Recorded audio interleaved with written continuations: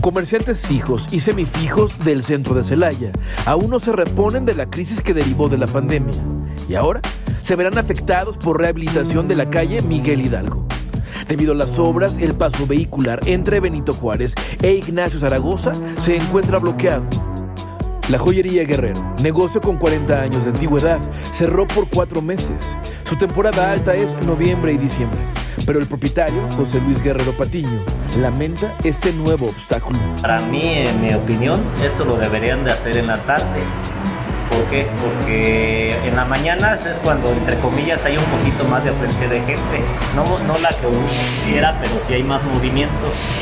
En las tardes cierran el centro a las 5 digo, ya para ti, apenas es como cuando te acabas de aliviar de una enfermedad, cuando vuelves a venir y tú, oye, pues espérame tantito, ¿no? O sea, Con más de un siglo de tradición, el negocio de repostería Las Vaquitas del Portal también perderá clientela con el cierre de vialidades.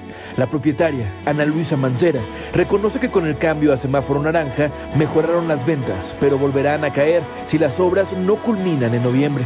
Pero si hay un ratito que sí se queda solo, se queda tranquilo y ya de repente pues sí dices, saca de dónde salió tanta, ahora sí tanta gente, pues veremos que sí diciembre, sí este, recuperarnos bien de ahora sí de todo esto que ha estado pasando de la pandemia. El municipio invierte casi 3 millones de pesos en el cambio de imagen del centro, que incluyen cambio de pisos, mejoras en las banquetas, colocación de volardos y nuevo sistema de alumbrado.